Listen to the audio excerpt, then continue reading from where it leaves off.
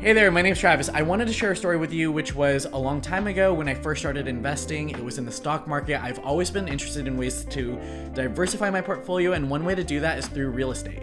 And I started doing more research on how to get started with real estate investing, and a lot of the times I found that you need a huge down payment, which could be tens, if not hundreds of thousands of dollars to get started with, which obviously I didn't have at the time. So, after a lot of research, I found a platform called Fundrise. And it's a great place for beginners to start because it will help you diversify your portfolio here. And Fundrise is all about transparency, so you can actually see the annual returns of client accounts here.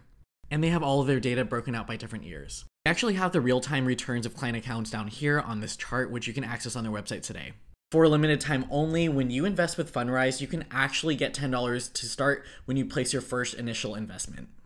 So if you made it this far in this video, you're probably interested in learning more about Fundrise. You can learn more with the link in my bio. Follow me for more tips and tricks.